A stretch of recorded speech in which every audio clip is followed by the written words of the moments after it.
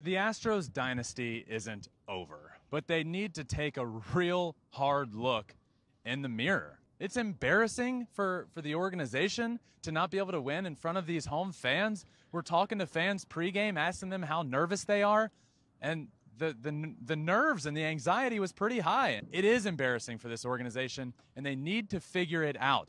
This is the standard they have set. They've gotten to seven straight ALCSs. That's why I have no problem saying this dynasty isn't over. I understand not everyone says that.